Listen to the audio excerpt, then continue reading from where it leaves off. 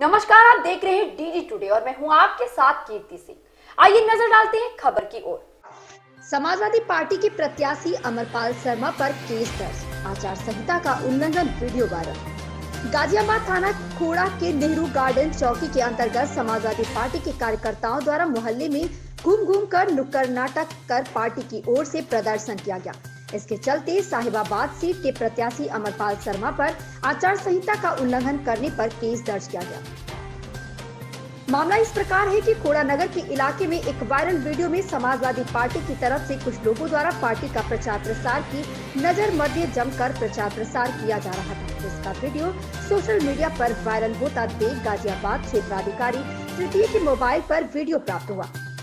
चुनाव आयोग की तरफ़ से धारा 188, 171 एफ़ धाराओं में मुकदमा थाना खोड़ा प्रभारी निरीक्षक ब्रजेश कुमार कुशवाहा ने मामले को संज्ञान में लेते हुए मुकदमा दर्ज किया गया। चुनाव को प्रभावित करने के लिए पार्टी की ओर से सोची समझी रणनीति तैयार की थी ब्यूरो चीफ शिवा गुप्ता की रिपोर्ट। ऐसी ही खबर से जुड़े रहने के लिए आप देखते हैं डी टुडे।